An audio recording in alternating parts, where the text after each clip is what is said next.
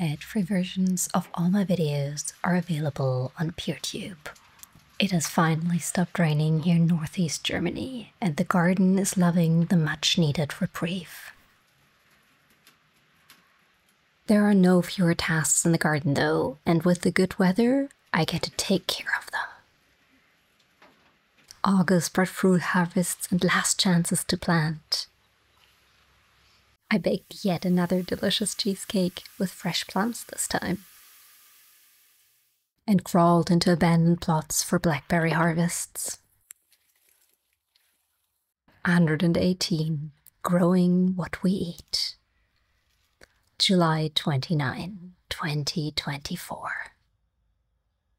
More good news the Inca cucumber is finally flowering, so it's not just loving the rain, it's now also loving the sunshine. It hasn't rained in 24 hours. If we can get a few more days of this, we might be able to save what's left of the tomatoes. But for now, let's have a look at that cool cucumber thing. This plant has many names. By now, I've chosen to call it Caigua as that seems closest to the original name. And yes, there's noise again. There's so much noise. Today, it's the gardeners. We fled the noise to take care of the greenhouse, which had by now turned into a jungle. I could barely get in and out.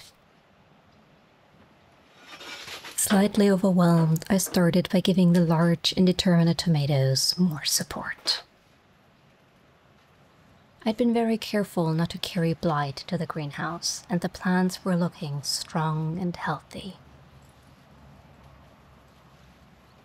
Once the plants had strong strength supporting them, I began trimming. By now, I was paranoid about getting blight, so I gave these a pretty good trim. I kept a few suckers at the tops of the plants for photosynthesis, but chopped all the lower ones off.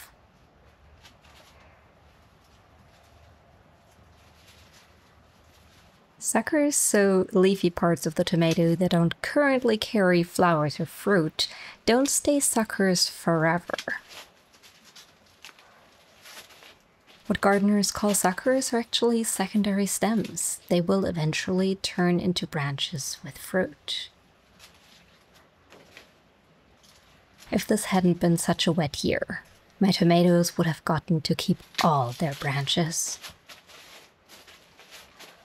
Hopefully I'll get to try that at some point in a drier climate when we move to our own plot.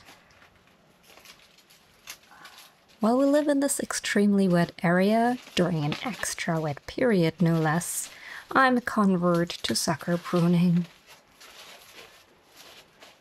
There's also no room to grow more vines, even if they'd carry fruit at some point. The greenhouse is pretty full.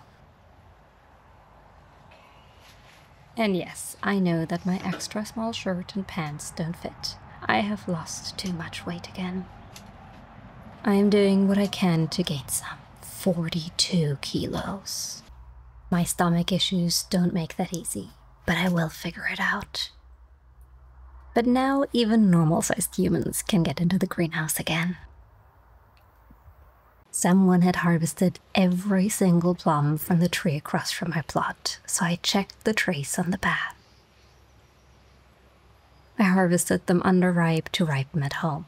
Did you know that works?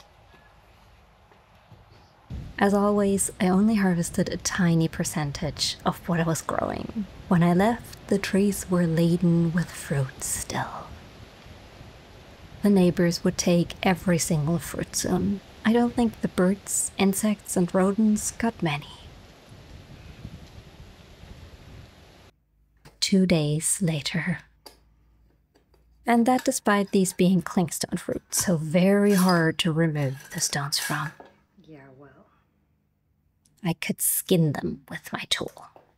So I cut them manually to make a cake. Decided to try a trick. I'd heard a night in the fridge would help, so I put the giant bowl away and baked a cake instead.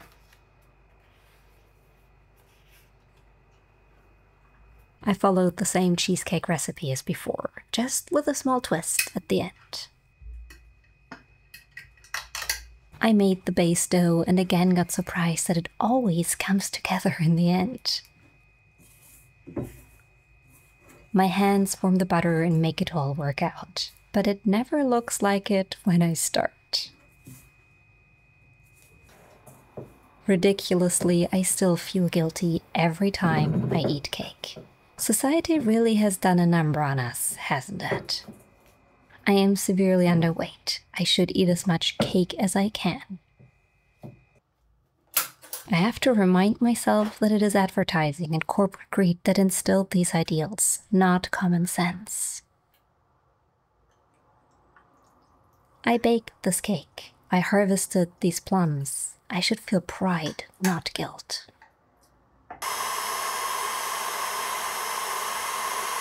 I added slices of plum on top of the cheesecake. I was improvising and hoping for the best. Baking is a lot less forgiving than most cooking. I'm always nervous about recipe changes. I was merging a plum crumble idea, no, not even a recipe, with my usual cheesecake recipe. I had an idea in my head, but little experience baking cakes. And yet, it worked. I wobbled the cake to check if it was done. A light wobble is perfect and often you'd carefully poke it or take out the pan. After enjoying a slice of cake, my husband and I headed to the garden for more blackberries and a few odd jobs. Pepper enjoyed the shade between the sunflowers while I did some weeding. My husband watched Pepper while I crawled into the plot next to mine. He also maintained the hedge facing the path so my neighbors could get through easily. And I fought my way to the blackberries. Even though I have permission for this, I always feel like I'm trespassing when squeezing through the bushes.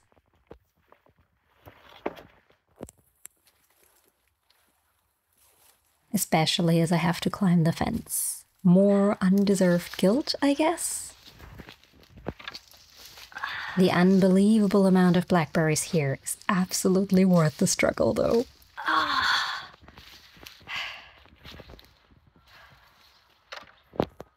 You see that sea of green I'm harvesting from? That's all blackberries. Somewhere in there is the fence line.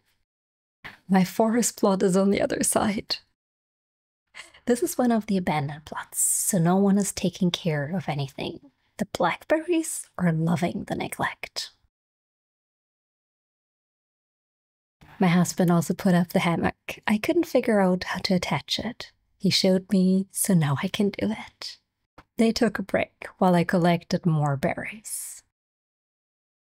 No one else is harvesting the berries, so I'm only sharing with the animals. Sharing here isn't hard. There are so many brambles. My family was happy to wait for me. I harvested those in my easy reach, but left hundreds of berries further up, down, and especially in. We'd come here late, so we were both glad there was cake waiting at home.